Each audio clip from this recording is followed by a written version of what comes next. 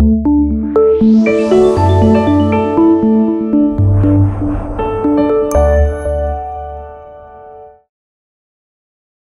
evening. My name is Asad Khan, and you're watching the Ambassador of Peace show on Next TV. It is always a pleasure to be with you all, and, and especially when we have a dynamic guest who came all the way from Richmond. And, and we are very happy that she's joining us today. Her name is Fouzia Ishtiaq Fatima. Welcome to the show. Thank you for having me. Good evening. Thank you. Fouzia, have you watched this show before? Of course. So, what was the experience? What did you learn about from this show? What we do?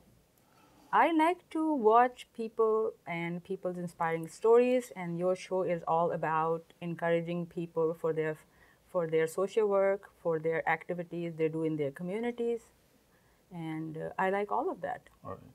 So, you recognize from UPF uh, for Ambassador of Peace for your philanthropic work, you.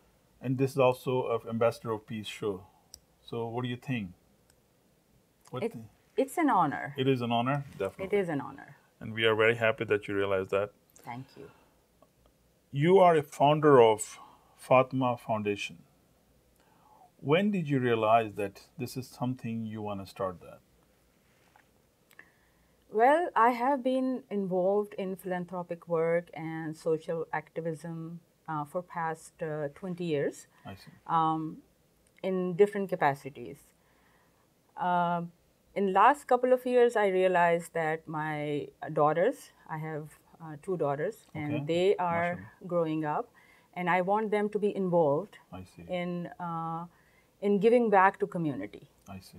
Um, they both are students, and yet they are very interested in my social work and social activism activities.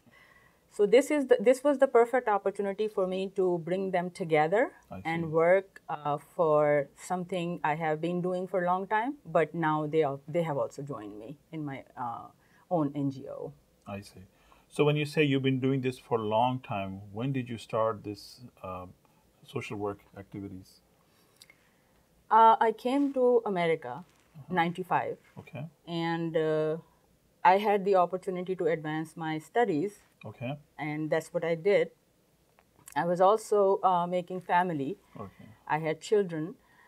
Um, 2001 was the time where, uh, when my younger one uh, was about three, three and a half years old, she started preschool, Right. and I started volunteering I see. for refugee settlement services. I see. Uh, when Virginia, Roanoke, Virginia, where I was living, Okay. accepted refugees from different part of the world, I was um, I was called in I see. uh, as a translator, as a person who can provide some services to those uh, Okay. refugees.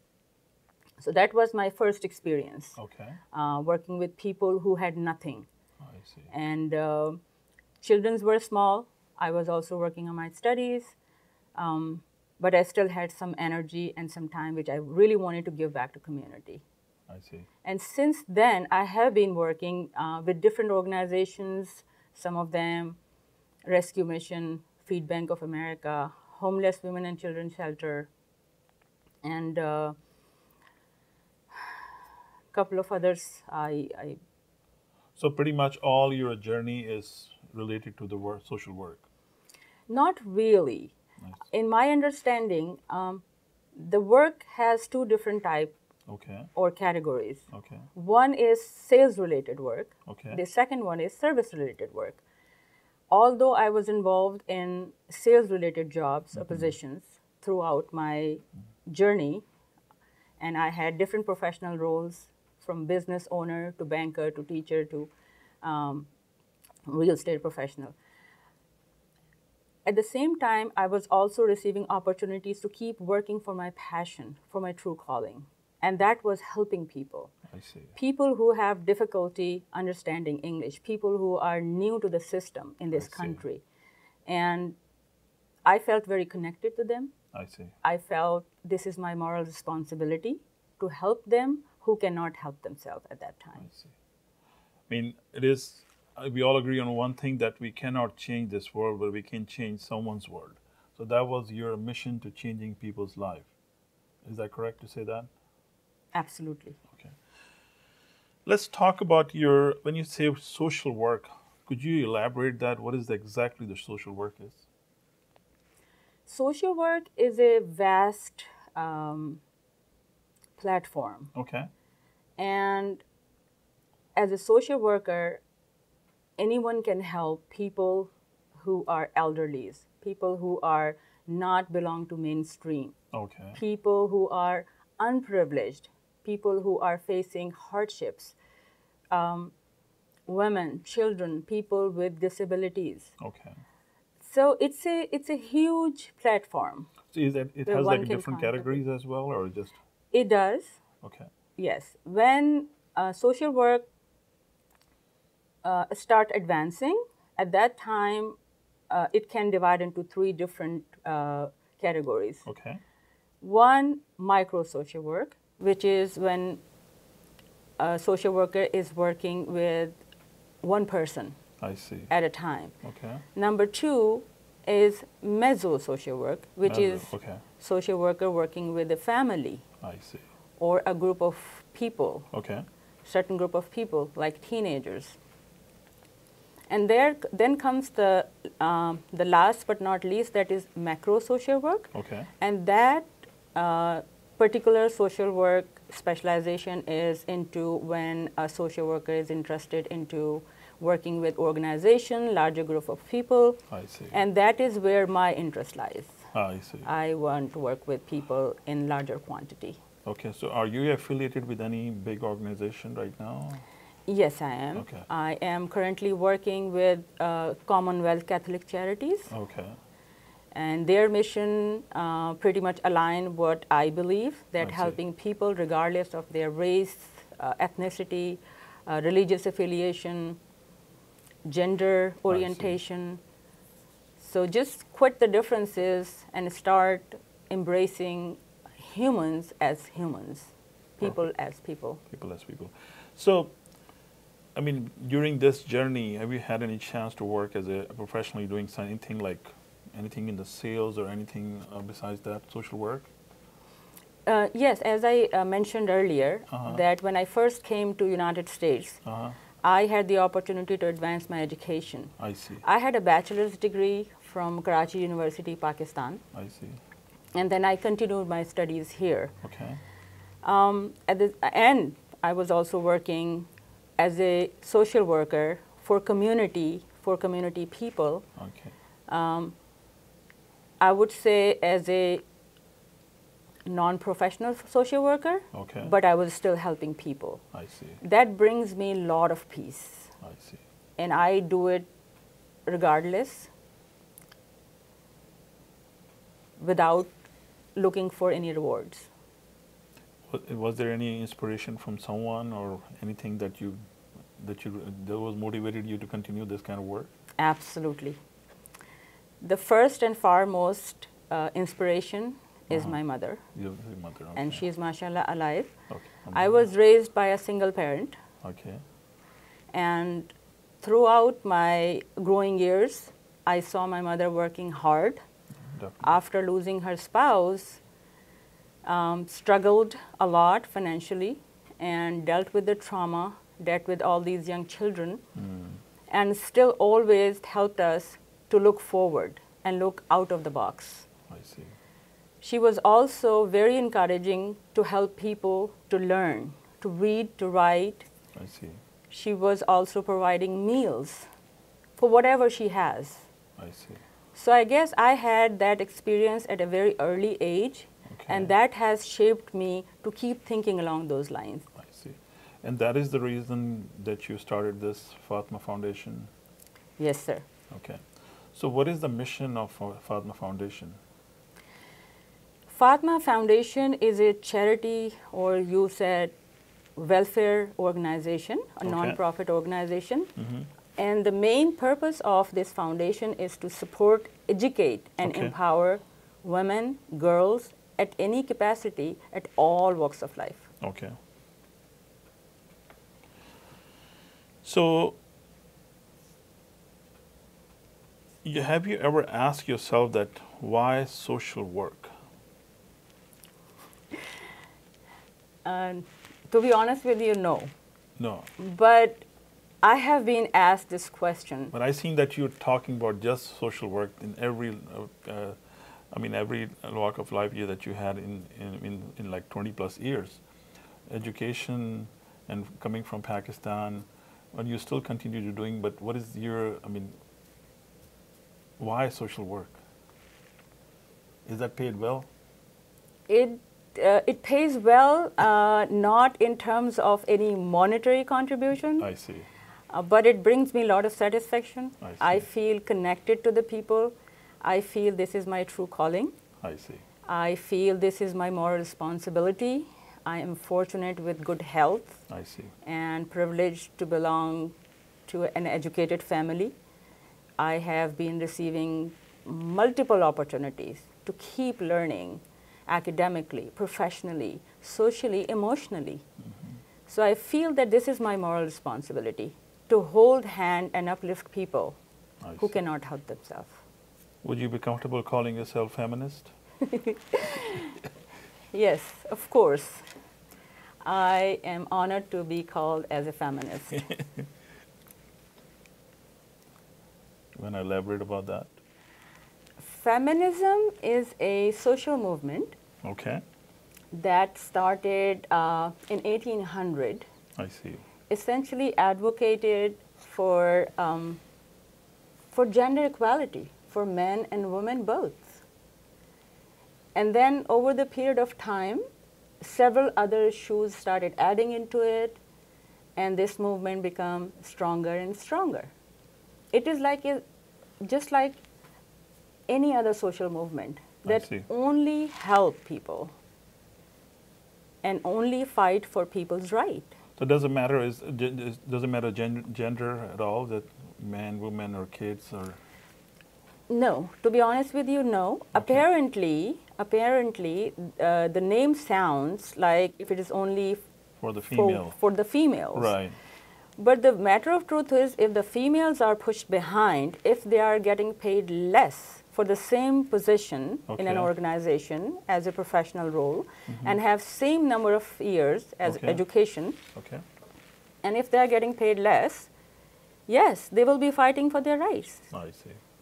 and people like me will be mm. helping them. I see. to stand up for themselves and fight for their rights. Right.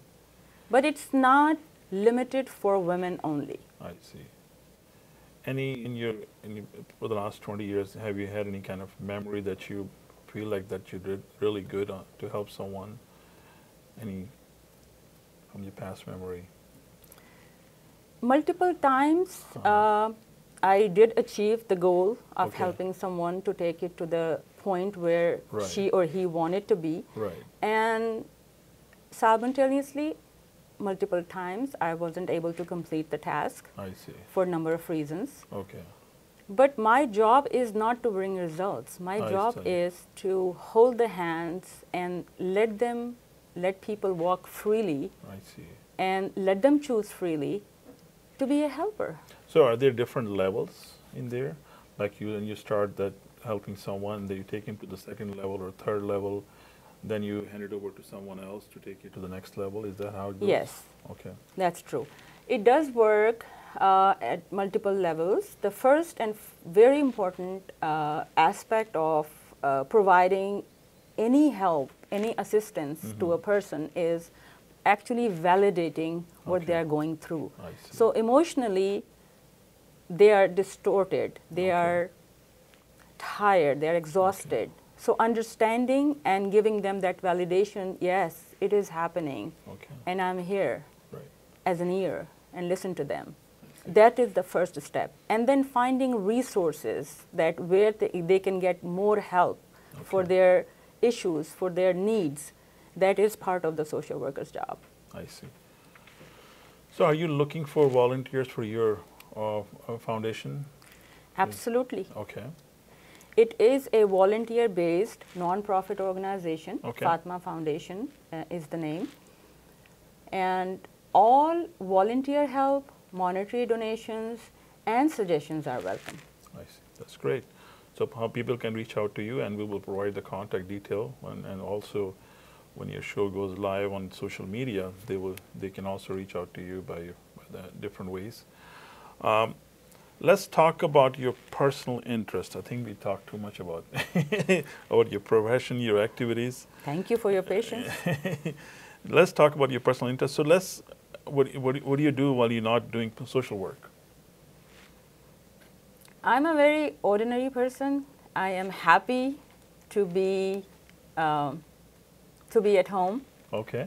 And I do gardening. Oh, that's good. I like horseback riding. Horseback riding. Reading is my all-time favorite. I see. And I am also interested in dancing. Wow. So let's talk. about, I think we take the dancing as a whole ch- new chapter. Let's talk about the reading. What kind of books do you read? I love reading autobiographies I see. of uh, people I'm inspired. Okay. Abdul Sattar Edhi, Mother Teresa, Nelson Mandela, I see. and several others. Okay. I like to read motivational books. Okay. I like to analyze myself and keep finding ways where I can learn more. I'm a very learned person. I'm I see. always eager to learn new information. I see. Do you want to suggest any motivational speaker to our audience? Yes, please uh, read and watch uh, podcasts uh, of Dr. Brené Brown. Okay. Uh, she is amazing. She has Okay. written four books. I see. I have read all four of them. Every single one of them is full of inspiration. wow. And she connects uh, to people, especially to women, hmm at a much wonderful level. I see. So dance. What kind of dancing you do? I like all dances. I see. I love Bhangra. Oh I am learning ballroom dancing and Latin dances, cha-cha and salsa. I see. Um, and I just an an absolute awe of what it brings to me energy wise. I see. It's a great exercise. Uh-huh. It stimulates the brain. I see. It uh, keeps you fit. It keeps me very happy. Keep you very happy, and that's the most important thing. That's correct. Any anything you would like to share as far as your I mean social work with our audience that they they can what they can do I mean especially for the newcomers any tips you want to give it to them I would encourage uh, young professionals to um, to be involved in their communities. I would love to have them come over and volunteer at organizations like homeless shelters, food banks, thrift stores, and learn from the experiences. They are going to learn which they are not going to learn from the books. And it is going to it is going to enlarge their heart the understanding. And those will be the true experiences for their true growth. Perfect. And audience that you anything you want to ask in the later on you can definitely open the chat on, the, on either on Facebook or um, YouTube channel I think we learned definitely uh, a lot from Fouzia, what she has been done, and uh, I believe she's a true ambassador of peace. And um, we will keep this chat open in the future. We will invite her again for new things that she add to her in our life, and because she's a wonderful guest. Anything you want to add at the, at the end before we close this interview? sure as i got the opportunity i will take this liberty and i will just request that uh, we all have been struggling emotionally uh, physically and psychologically with this pandemic covid uh, what is my take home from this pandemic is we can live with minimal furniture, minimum amount of materialistic goods and stuff. I'm practicing to live with fewer stuff. You can do that as well. Thank you very much, Fouzia, for joining us, and thank you for the joining us. We'll see you with some other guests in the future. Thank you. Thank you for having me. It was definitely a great time.